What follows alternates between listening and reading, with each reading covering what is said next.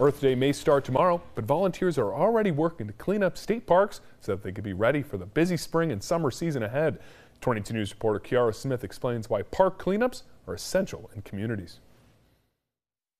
Earth Day is tomorrow, and the Department of Conservation and Recreation wasted no time to get the state parks all cleaned up before the warm weather fully kicks in.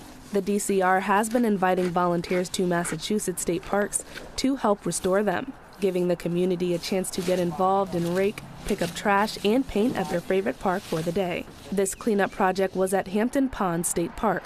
Elijah from Palmer was a volunteer. He told 22 News that this was his first time doing a cleanup in Westfield and that he could not miss out on the opportunity to protect the environment.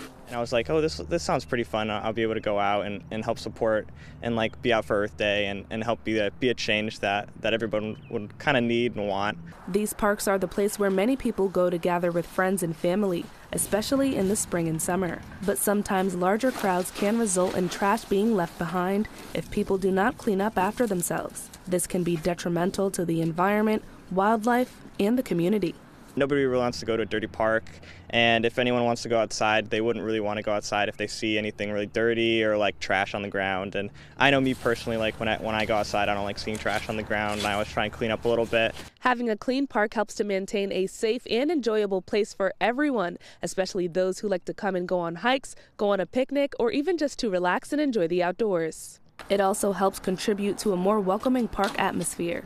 And this was one of many cleanups the DCR and the community have been working all weekend to clean parks throughout Massachusetts.